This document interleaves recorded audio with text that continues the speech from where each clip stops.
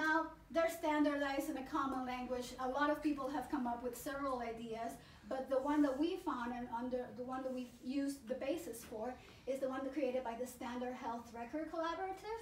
They've made an open source um, project. project On data structure. on data structure structure data. and what the data structure, what, what, what information do we want, how do we make it out there? And that's the one that we've used as a basis to make sure that we have the same language for all of these personas. Which is in the end a huge JSON file. Exactly.